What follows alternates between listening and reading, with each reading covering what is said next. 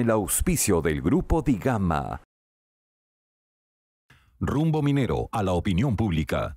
Quellaveco, el proyecto minero más importante desarrollado en los últimos años en el Perú, se ve amenazado desde hace algunos días con la aparente decisión del gobierno de revaluar la autorización para utilizar agua de dos ríos, Vizcachas y Títere, otorgada por la ANA a fines de agosto del 2022. El proyecto representa una inversión de más de 5.500 millones de dólares y tendrá una producción de 300.000 toneladas anuales de cobre en sus primeros 10 años. Cabe resaltar que la mina no usará en sus procesos de producción agua destinada a la población, la agricultura o la ganadería. El 80% del recurso hídrico a utilizar en los procesos productivos mineros proviene del río Títire, de origen volcánico y con alto contenido de arsénico y boro, mientras que el 20% procederá de la presa Vizcachas, infraestructura que almacenará agua de lluvia de buena calidad y que será suministrada a la población y actividades agropecuarias de la cuenca del Tambo durante la época de estiaje y permitirá además el uso efectivo de la reserva hídrica de la región Moquegua. Conocemos de la buena acogida del proyecto minero entre la ciudadanía por sus altos estándares de operación e impacto socioeconómico y saludamos los recientes comentarios positivos del presidente del Consejo de Ministros, los titulares del Ministerio de Economía y Finanzas, el Ministerio de Energía y Minas y gobiernos regionales de Moquegua, quienes reafirman que Quellaveco cuenta con todos los permisos necesarios para el desarrollo de sus actividades y certifican que el programa de abastecimiento de agua de Quellaveco se encuentra debidamente socializado. Exhortamos al gobierno y a las autoridades pertinentes a analizar y aprobar los permisos correspondientes. Es preciso y necesario consolidar esta posición y salvaguardar decididamente los intereses de nuestro país y la nación, pues esa es la forma de proteger y garantizar la incepción y continuidad de la inversión privada, que son la única manera de eliminar la pobreza, la desigualdad y las brechas sociales que aún aquejan a nuestra patria, construyendo así el futuro sostenible que todos queremos y por el que trabajamos sin descanso. Lima, 15 de octubre del 2022. Bienvenidos a Rumbo Minero. Bienvenidos, César, ¿cómo estás? Qué gusto, Jorge. Ya regresados de Arequipa, eh, Perumín. Eh, primero mencionarles que tendremos a eh, Guillermo Chino, ex viceministro de Minas, va a estar con nosotros para hablar cuál es el balance de estas elecciones. los alcaldes, los gobernadores que se han elegido son, están a favor de la minería, están en contra de la minería y hay una segunda vuelta de varios de ellos. Así que vamos a hablar un poco con una persona muy experimentada sobre cómo podría venir la mano con respecto a la minería y luego de estas elecciones. ¿Qué más tenemos, César? Ya que mencionaste a Perumín 35, Convención Minera, que nos convocó en Arequipa, Jorge, vamos a presentar interesantes entrevistas, nada menos que a Julio Velarde, presidente del Banco Central de Reserva, a Julia Torreblanca, quien es vicepresidente de Asuntos Corporativos de Cerro Verde, arequipeña, además anfitriona de todos nosotros, y finalmente Abraham Chaguán, que es el nuevo presidente del Instituto Ingeniero de Minas del Perú, que le cabe realizar, ejecutar la próxima Perumín 36. Así es. Entonces, antes, antes de entrar al programa, quiero que nos acompañen a ver con Gabriela Chicoma las principales noticias mineras de la semana.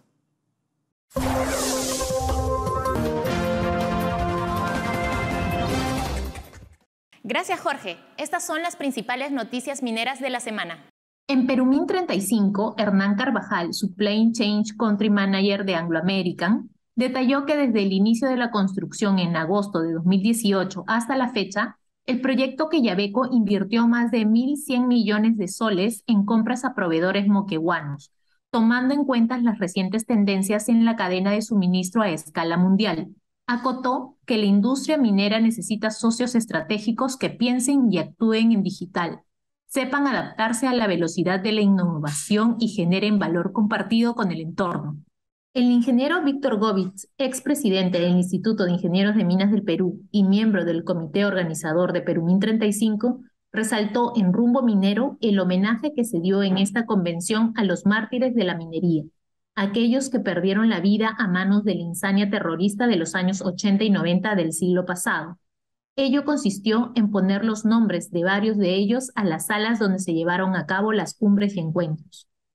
El ingeniero Govitz también anunció que en la versión Perumín 36 a realizarse el próximo 2023 se distribuirá un libro editado con las biografías de estos héroes mineros cuyo sacrificio sirve de ejemplo y guía para las nuevas generaciones de esta industria nacional. Muchas gracias a Gabriela por las, las, principales noticias mineras de la semana. Bien, ahora lo esperado, lo que habíamos anunciado, este resumen que viene de Perumín, una gran fiesta de la minería que hemos vivido en, Arequipa, y este, también unas entrevistas que ha podido lograr justamente César, que eh, son con Julio Velarde, presidente del Banco Central de Reserva, importantísimo, Julia Torreblanca, por supuesto, vicepresidente de Asuntos Corporativos de Cerro Verde, y Abraham Chaguán, presidente del Instituto de Ingenieros de Minas del Perú. Así que adelante, por favor, con el especial de Perú.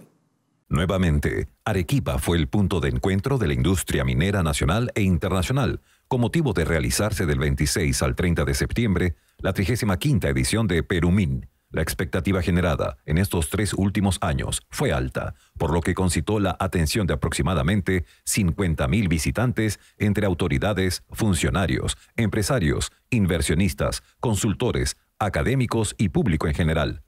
Cabe indicar que para el desarrollo de esta importante feria, el Instituto de Ingenieros de Minas del Perú implementó diversas medidas de seguridad para preservar la salud de los visitantes, lo cual se evidenció en el recinto ferial.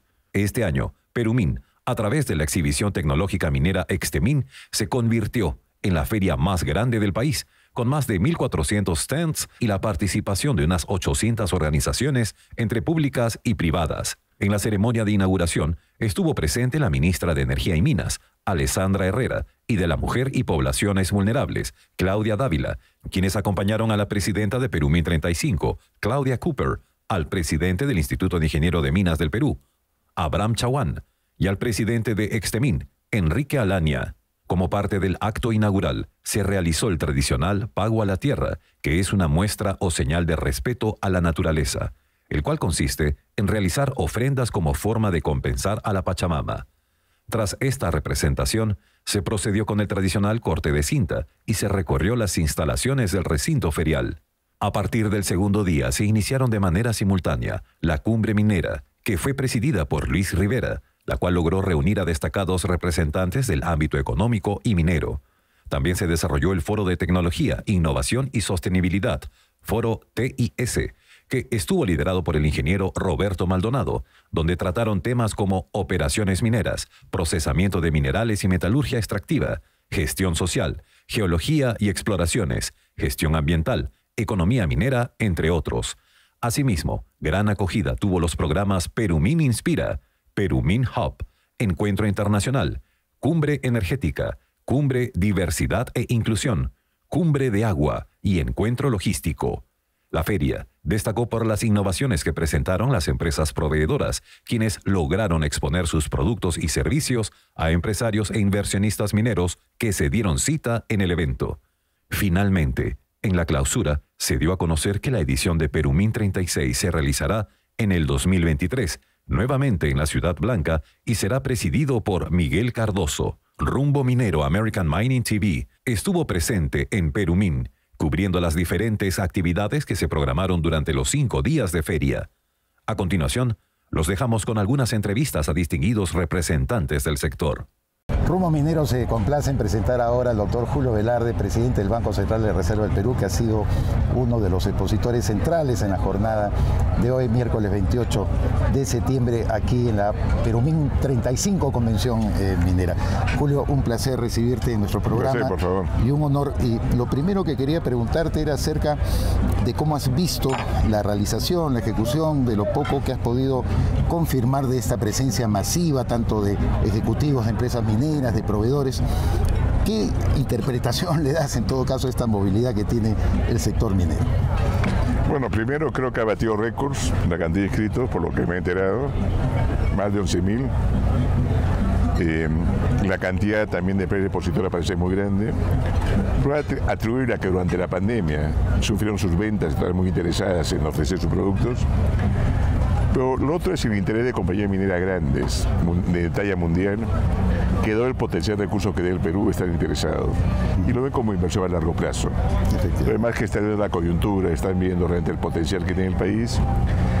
Y creo que la resiliencia que ha mostrado la economía también peruana en los últimos años, a pesar de los avatares políticos, no solo de, este último año, sino de los últimos años.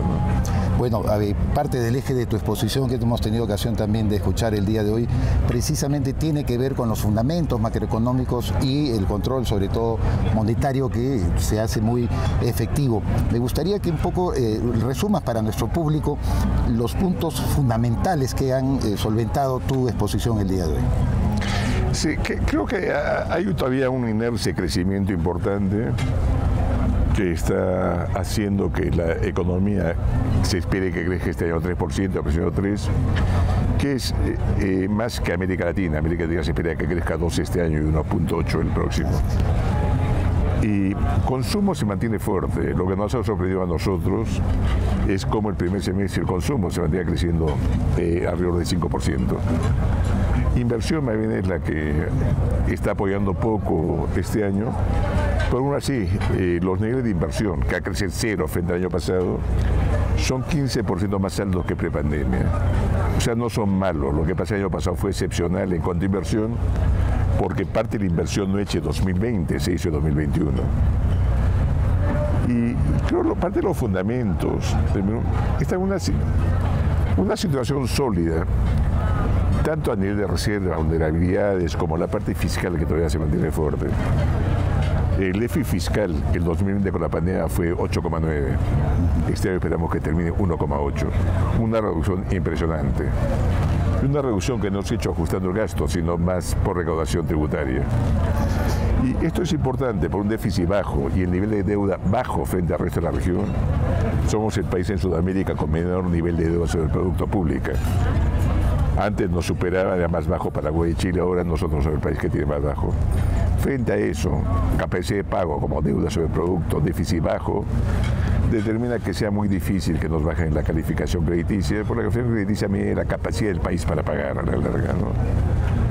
Y eso básicamente sería, creo, lo, más importante. Así ya que tener demasiados detalles después. Enhorabuena, Julio Velarde, muchísimas gracias por, favor, declarar para Rumbo Minero y en efecto tener confianza en que el Perú se tiene que afirmar en esta línea, sobre todo sensata, de mantener un nivel bastante grande de recaudación, además con la provisión del sector minero que es fundamental y por supuesto una disciplina monetaria que en tus manos está muy bien garantizada. Muchas gracias. Muchas gracias. Julio Velarde estuvo con nosotros en Rumbo Minero.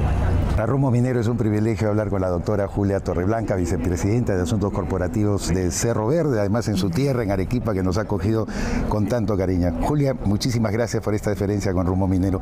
Quería saber tu impresión primero general de lo que ha significado este Perumín 35 Convención Minera, luego de que estamos retomando, eh, digamos, la presencialidad para estos efectos. César, como arequipeña que soy, muy complacida de ver que todos los mineros y todas las personas que trabajan en industrias colaterales han regresado presencialmente a Arequipa para vivir esta fiesta de la minería. Y digo fiesta de la minería porque nos hemos reencontrado todos en la Ciudad Blanca, donde podemos no solamente contribuir con nuestras ideas, pensamiento, con Perumín y todo el intercambio que está viendo muy rico entre autoridades, eh, mineros y otros especialistas que están definiendo qué debe pasar con la minería a continuación, sino también porque nos hemos reencontrado con Arequipa, los que vienen de fuera y nosotros los arequipeños estamos muy contentos de tenerlos en hoteles, restaurantes, disfrutando de nuestra ciudad. ¿Qué ítems temáticos crees tú que han marcado el eje de esta convención? Sabiendo que hay muchos problemas en torno a la minería, pero también muchas expectativas, muchas esperanzas, lo que se ha dicho acá en materia económica, de inclusión social, de trabajo con las comunidades, ha sido sumamente rico e importante. Pero ¿cuál crees tú que han sido los ejes que van a derivar precisamente para la próxima versión, para la oportunidad de reunir a Perumín 36? Sin duda el hecho que de minería es sinónimo de desarrollo y la oportunidad que tenemos todos de trabajar, llegar a consensos, acuerdos y trazar la ruta necesaria para que nuestro Estado pueda dar las, las facilidades para mayor inversión minera. Nos ha quedado claro a todos que si es que no hay exploración y no hay inversión minera, el Perú no va a poder continuar creciendo como lo ha venido siendo hasta ahora, por lo cual necesitamos trabajar en torno a esta necesidad que tenemos como peruanos para que además las contribuciones e impuestos que da la minería al Perú puedan ser vistas por todos y cada uno de los ciudadanos, traducidas en hospitales, carreteras, mejores servicios y una mejor calidad de vida. Reitero que ha sido un privilegio, Julia, que estés con nosotros aquí en Rumo Minero. Gracias, Julia Torreblanca, vicepresidenta de Asuntos Corporativos de Cerro Verde, aquí en nuestro programa. Continuamos. Rumbo Minero desde Perumín 35, Convención Minera, se complace ahora en dialogar con el flamante presidente del Instituto de Ingenieros de Minas del Perú, Abraham Chaguán, a quien le agradecemos muchísimo por esta diferencia que tienen con nosotros. Abraham, eh, como parte de la organización eh, de Perumín, se han trazado y se han cumplido todas las metas y las expectativas que ustedes ya tenían. Absolutamente todas, ¿no? El evento realmente eh, ha sido un éxito y hemos logrado, creo yo, cumplir con los principales objetivos que nos habíamos planteado como Instituto de Ingenieros de Minas del Perú. Eh, cuéntame un poco tu impresión acerca de lo que podemos resumir de las, de las ponencias, de las exposiciones. ¿Cuál crees que ha sido el eje principal más allá del tema económico, la caída de las inversiones? ¿Cuál es el espíritu que tú rescatas al momento que se clausura Perú eh, mira, eh, creo que la semana ha sido muy importante desde el punto de vista eh, digamos, de futuro cercano. Hemos, eh, estamos todos alineados de que se viene una tremenda oportunidad para países como, como el nuestro, como Perú, que tiene una geología muy diversa con grandes proyectos y eh, esto está en directa relación con los procesos de decarbonización y la transición hacia energías completamente renovables. ¿no? En, ese, en ese sentido, la demanda de metales en el corto plazo para o sea, para el cumplimiento de, compromisos como el de París, eh, hasta el 2031 se tienen que realmente eh, llevar a cabo una serie de iniciativas para poder evitar que la temperatura de, nuestra tierra suba a 1.5 grados. Entonces, eso representa pues para el país una tremenda oportunidad. Eh, eso como, digamos, como base, ¿no? Y, la idea del instituto, el objetivo principal fue tener una plataforma dentro de de, Perumín para poder eh, de alguna u otra manera ver, de, invitar a todos los actores, a todos los que participan en, el desarrollo de la industria, que es el motor de la economía nacional, para poder coincidir ideas, ver qué tenemos que hacer y cuáles son los objetivos que nos tenemos que trazar entre, por ejemplo, el Estado en todos sus niveles, eh, la sociedad en general y nosotros como empresa minera. Estupendo, muchísimas gracias, Abraham, y las felicitaciones de Rumbo Minero por este magnífico evento que nos han hecho vivir y que esperamos se repita en la próxima versión de Perú 36. Bueno, nos vemos el próximo año. Muchas gracias a usted. Abraham Chaguán, presidente del Instituto de Ingenieros de Minas del Perú, estuvo con nosotros aquí en Rumbo Minero. Bien, excelente mm, especial de Perumín. César, coméntanos un poco de este trabajo que se ha realizado en, Arequipa. Fue además eh, muy interesante porque contamos con la disposición de estos importantes entrevistados como el caso de Julio Velarde, que no suele dar entrevistas, como él me dijo, pero tuvo una diferencia especial con Romo Minero, porque hizo un buen resumen, como hemos visto, de su exposición, donde destaca la resiliencia del sector minero. Con Julia Torreblanca era prácticamente hablar con una anfitriona, nosotros, porque ella, aparte de ser arequipeña, es vicepresidenta de Asuntos Corporativos de Cerro Verde, que también mostró, entusiasmo, como hemos visto, por eh, la realización de Perumín. Y finalmente Abraham Chaguán, que ahora preside el Instituto de Ingenieros de Minas del Perú, se constituye en el promotor de eh, este gran encuentro, como tú lo has señalado, de la familia minera y que además tendrá a su cargo la próxima realización de Perumín 36, ¿no? que va a ser el 2023, ya no es cada dos años, sino va a ser el próximo año. Claro, va a, ser, va a quedar en el año impar 2023 y luego viene Spomina en el año par, que es 2024, y luego ya 2025 otra vez este, Perumín. Así es. Muy interesante. Eh, bueno, vamos ahora a una pausa comercial y regresamos.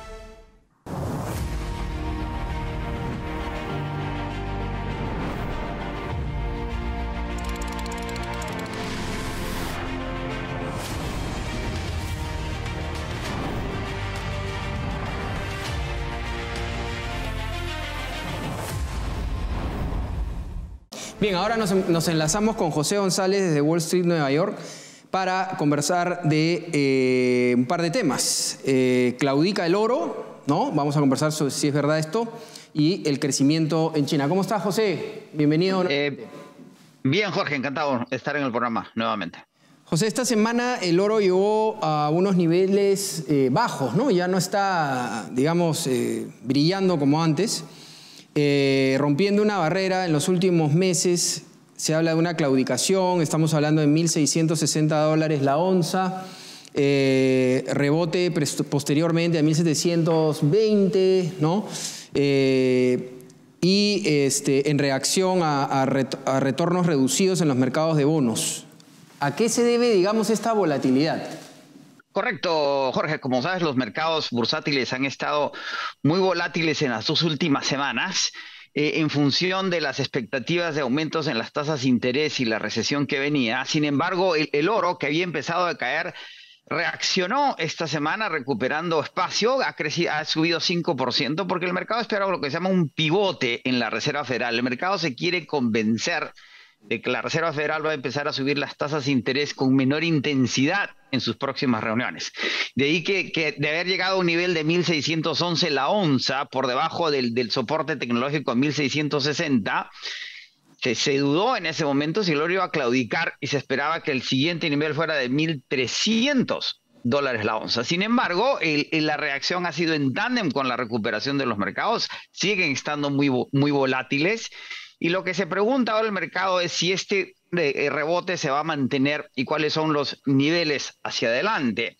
Todo va a depender de las políticas de los bancos centrales en el G7 las tasas de interés, los retornos de las deudas soberanas eh, y los marcadores de, la, de, los, de los mercados financieros, particularmente renta fija, y los niveles del oro que determinan si se busca o no un refugio. Y también va a depender de si los mercados se, se atemorizan en cara a lo que viene, las reacciones a las medidas anunciadas en el gobierno inglés la semana pasada, que generaron una gran volatilidad en la deuda inglesa y en la libre esterlina, podrían implicar que el oro vuelva a ser buscado como un refugio.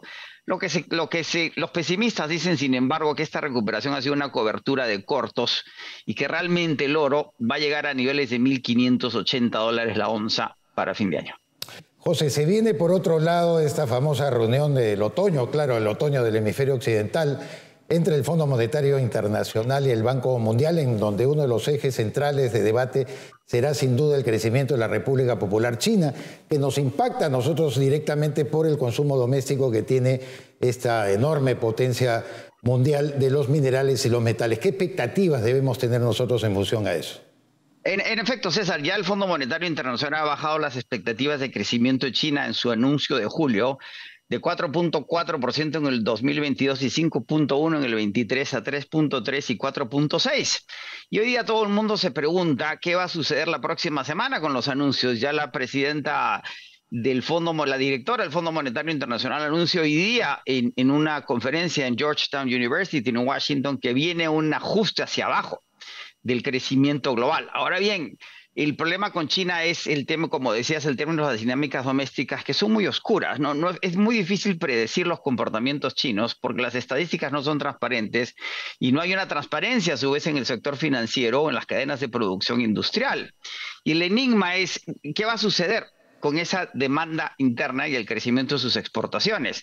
Ya los analistas admiten que en este año, post-COVID, la demanda interna va a caer 1.5% a pesar de que las exportaciones crecerían 12%. Y una de las preguntas es, ¿cuáles van a ser las políticas de Xi Jinping en su tercer periodo como secretario general del Partido Comunista y presidente de China?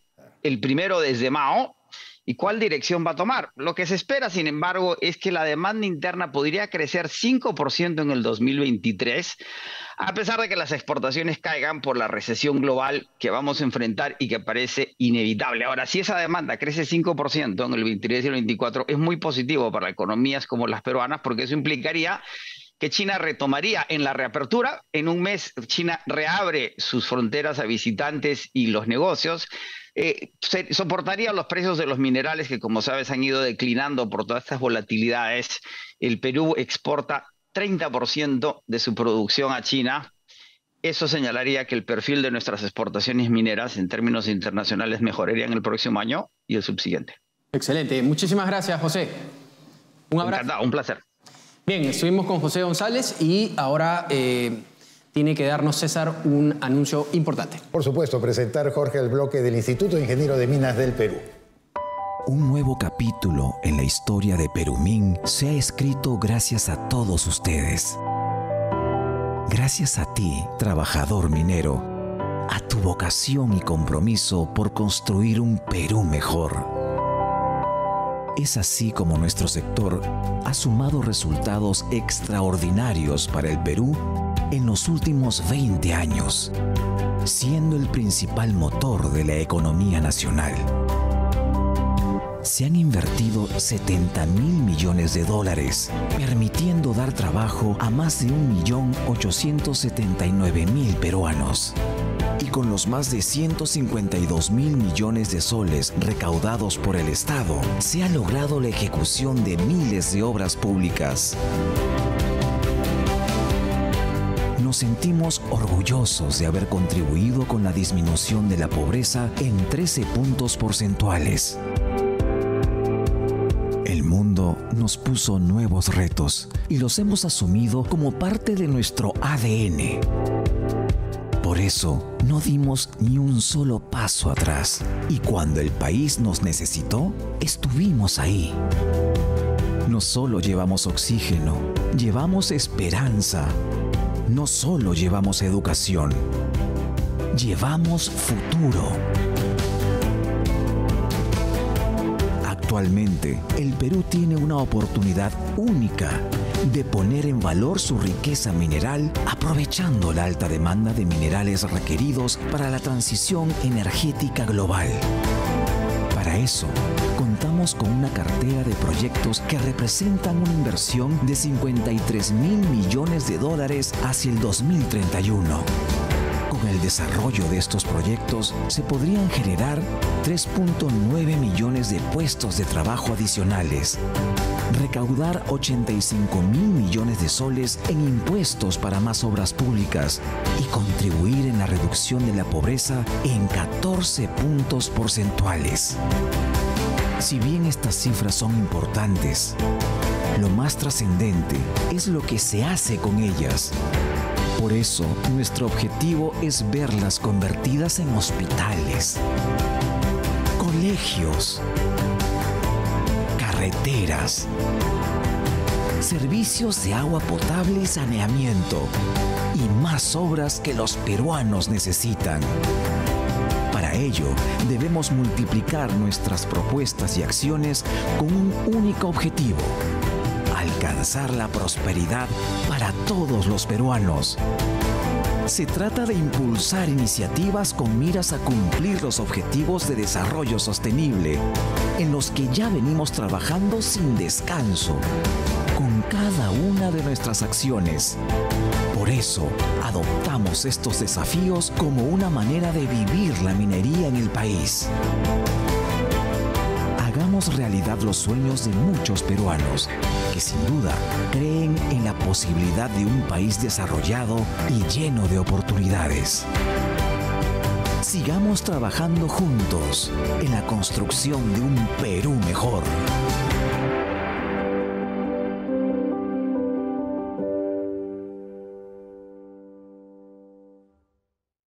Bien, como habíamos anunciado, nos encontramos ahora con Guillermo Chino, el ingeniero Guillermo Chino, quien, como todos sabemos, fue ex viceministro por varios años de, Minas, eh, de Energía y Minas y eh, docente de SAN. Vamos a hablar un poco, es un hombre que conoce muchísimo eh, el sector minero y vamos a hablar un poco de qué implicancias tiene el tema electoral en las regiones y en las municipalidades con respecto a la minería.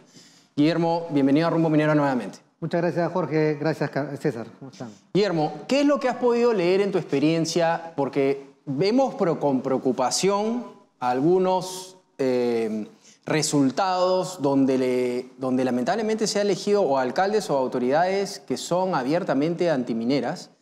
Eh, y al decir antimineras quiero decir que ni siquiera se sientan en la mesa a conversar sobre cómo se podría llevar a cabo la minería sino simplemente no la quieren. ¿no? Gente que no está a favor de la minería. Así es. Y, este, y, me preocupa cosas como hablábamos hace unos minutos, este, movimientos como agua, movimientos que, que reúnen un poco zonas raramente muy mineras, ¿no? se concentran ahí al parecer, Y hay una segunda vuelta, además. Entonces sí sería importante que los ciudadanos puedan entender qué es lo que significa elegir autoridades que no se sientan a la mesa a conversar con respecto a la minería.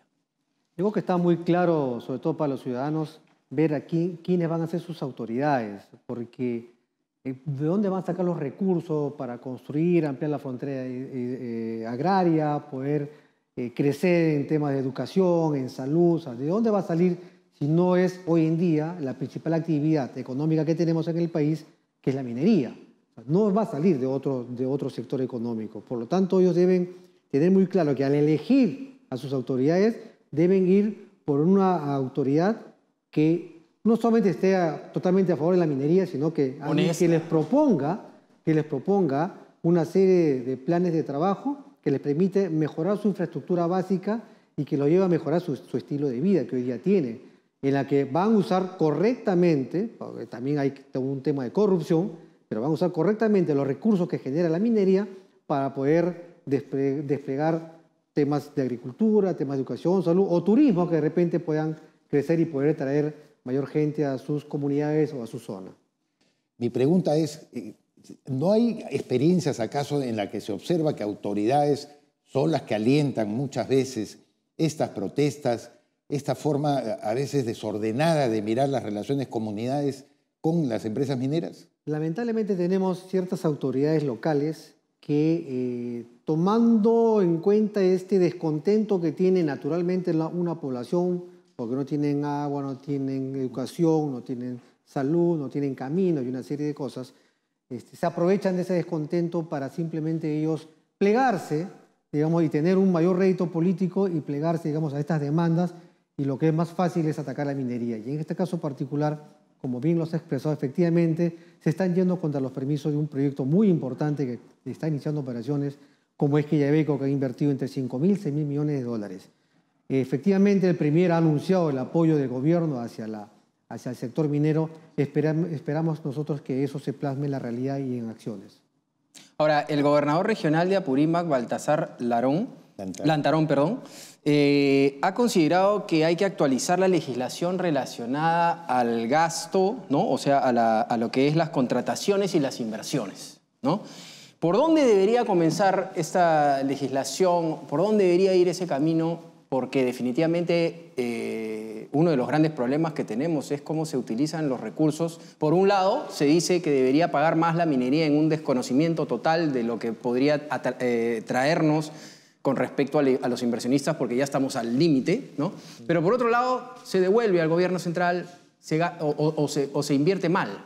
La misma Contraloría lo ha dicho, más de 20 mil millones de soles al año se pierden en corrupción.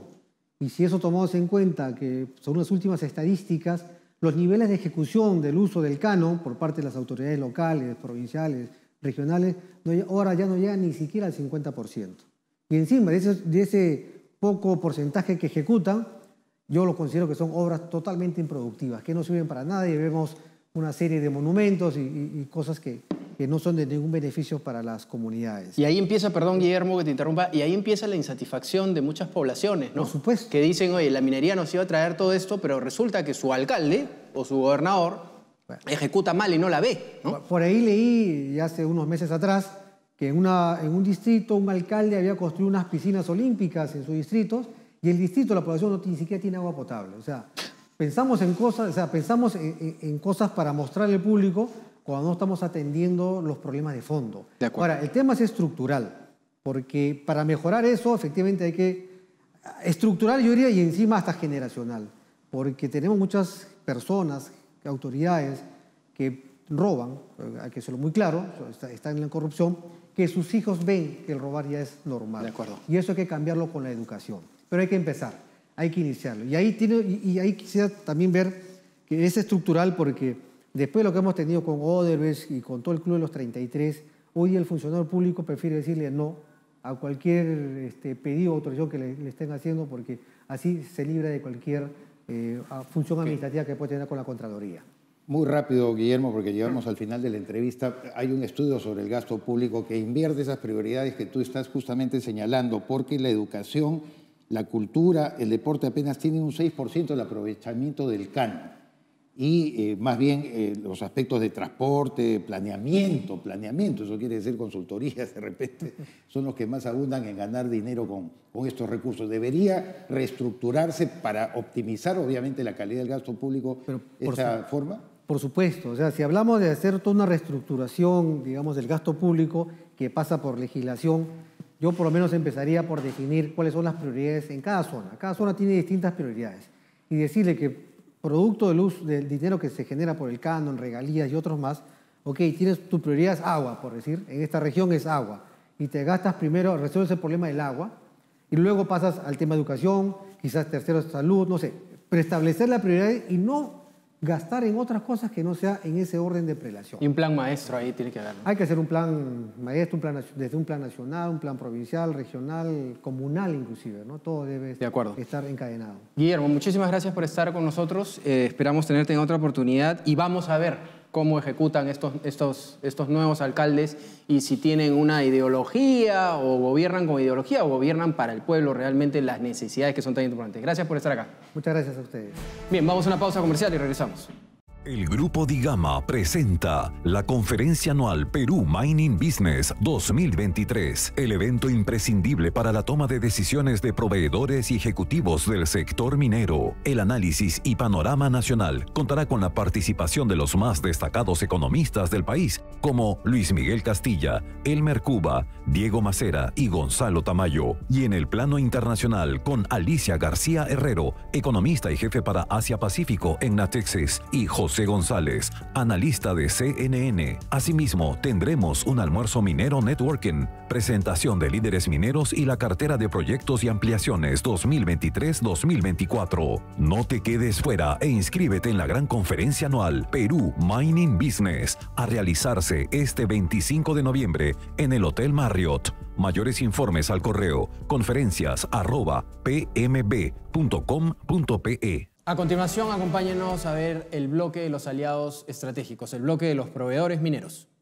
En Rumbo Minero TV damos pase al bloque de proveedores del sector minero. Bien, en el bloque de proveedores ahora nos encontramos con Carlos Lucero, gerente de servicios de distribuciones Diesel. Dándole la bienvenida a Carlos, quisiera preguntarle cuál es el portafolio de productos o servicios que brinda eh, su empresa al sector minero y cuáles son los objetivos comerciales para lo que viene del año. Bien, gracias eh, Jorge y César por la invitación. Eh, puedo mencionarte que dentro del portafolio de servicios que brinda Distribuciones Diesel, eh, tenemos nuestro centro de mantenimiento de motores diésel, que es el rubro en el cual nosotros reparamos los motores de mediana y alta potencia enfocados a nuestros clientes mineros, ¿no? Para poder ejecutar estas reparaciones, pues contamos con un dinamómetro, con talleres eh, certificados eh, ISO 9001 y con personal calificado para poder eh, dar una o brindar un buen servicio de reparación. La empresa también es distribuidora autorizada de la línea de transmisiones Allison, que son unas transmisiones automáticas que también trabajan en algunos equipos mineros suministramos eh, baterías de la marca AC Delco y, Delcor. También eh, somos distribuidores de la marca de filtros Fleetware, Fleetware, perdón, en el cual brindamos nosotros servicios de soluciones para el sistema de filtración de aire y también para el sistema de refrigeración. Eh, brindamos también nosotros servicios de reparaciones de, y mantenimiento a grupos electrógenos de diferentes potencias. Para certificar este tipo de reparaciones, pues la empresa cuenta también con un banco de resistencia, que es nuestro banco de pruebas, y podemos probar este, grupos de hasta 2.000 kilowatts. Carlos, nos gustaría saber cuáles son los planes de expansión, tanto nacional como internacional, que tiene la empresa y cuáles son las expectativas de participación en el mercado minero. La empresa eh, considera eh, un plan de expansión, eh, tener como principal objetivo eh, identificarnos mucho con nuestros clientes, ¿no? Eh, si bien es cierto, la empresa ya tiene más de 60 años brindando servicio a la minería en el Perú, pues nosotros somos especialistas en temas de reparaciones de motores de alta potencia y esto hace eh, que la empresa sea una empresa muy confiable y que sea una alternativa para nuestros principales clientes mineros. ¿Cuáles, eh, Carlos, las principales fortalezas que los define como empresa y, digamos, la diferencia con su competencia? Una de las principales fortalezas de la empresa es la experiencia que tenemos ganada. Eh, le comentaba que tenemos más de 60, más de 60 años ya brindando este tipo de servicios. La experiencia que tenemos en esta reparación por la cantidad de motores en el tiempo que hemos reparado, pues nos da, llamemos, el, una, un valor agregado a la experiencia que nosotros tenemos en reparaciones. Eh, también estas reparaciones nosotros contamos pues con un personal calificado para, la para determinada marca de motor que vamos a realizar y también la empresa pues cuenta con equipos sofisticados, tenemos la certificación ISO 9001, tenemos nuestros bancos de prueba, que esto hace eh, más confiable las reparaciones que nosotros realizamos, ya que pasa por un control de calidad una vez terminadas las reparaciones. Eh, también tenemos eh, los equipos en nuestros talleres, son este, talleres presurizados, eh, tenemos con personal calificado y sobre todo pues la garantía que brindamos en el tema de los repuestos que utilizamos. ¿no? Bien, muchas gracias a Carlos Lucero, gerente de servicios de distribución Diesel. Ahora quiero pasar a la bolsa de trabajos gracias a la Headhunter Curac.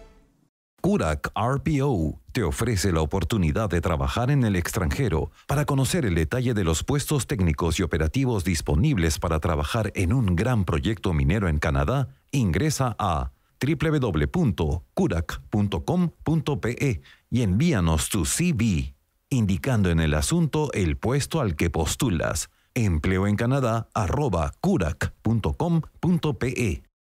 y en nuestra segunda entrevista al bloque de proveedores tenemos el gusto de presentar ahora a Gustavo San Martín, apoderado general de Arenas. Al saludarlo le formulamos también la primera pregunta, ¿cuál es el portafolio de productos y o servicios que brinda su empresa al sector minero y cuáles son sus objetivos comerciales para lo que resta del año 2022?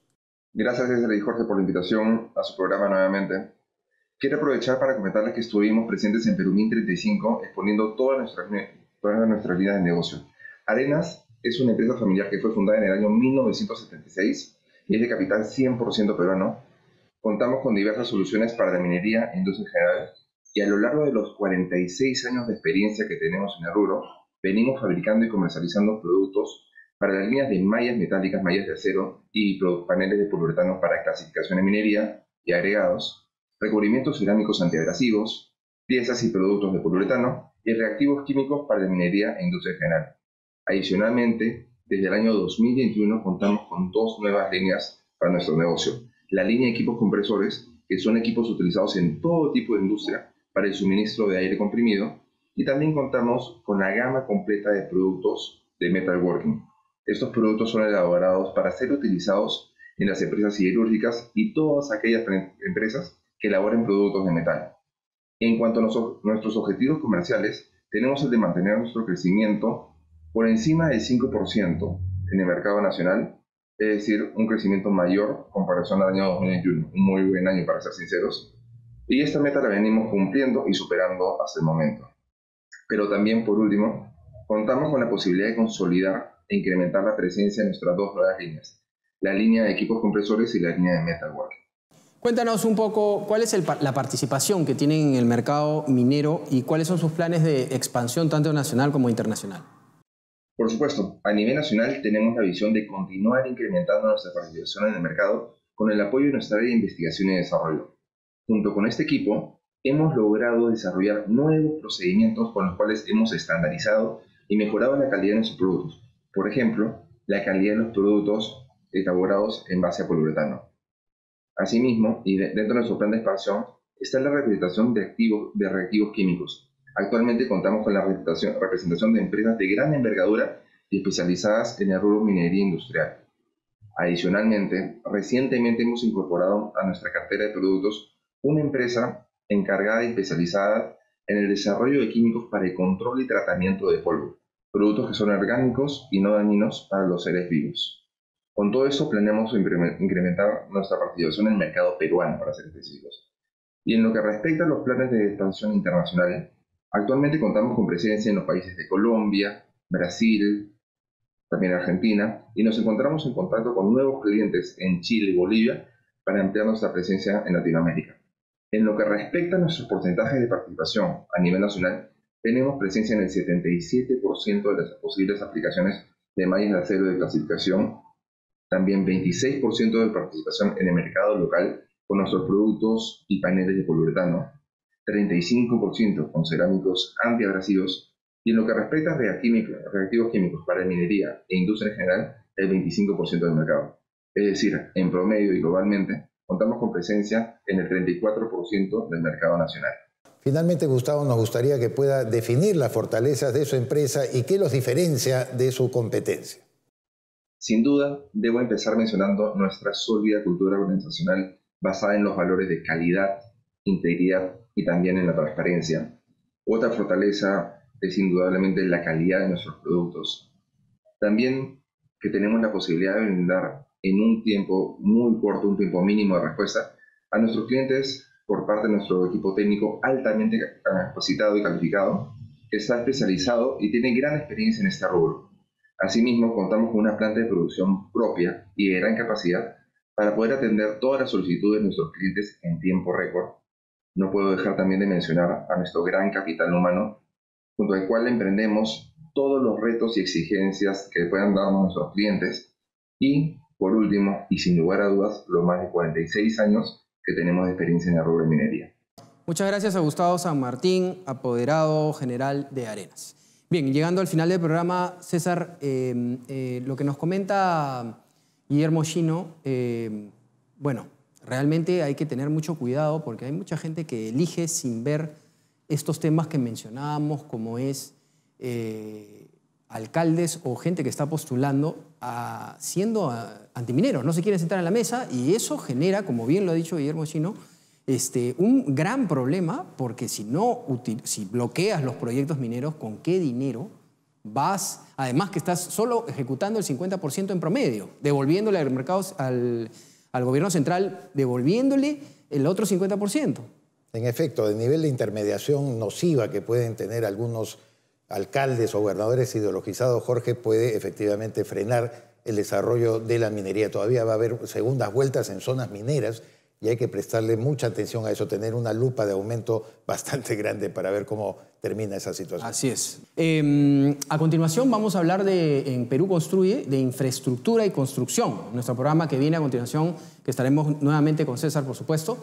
Y eh, en lo que es minería, quisiera para terminar eh, eh, mencionarles la pregunta que va a estar en Twitter para nuestra pregunta de la semana. Es, ¿considera usted que la elección de nuevas autoridades regionales y municipales podría acrecentar los conflictos mineros? ¿Sí o no?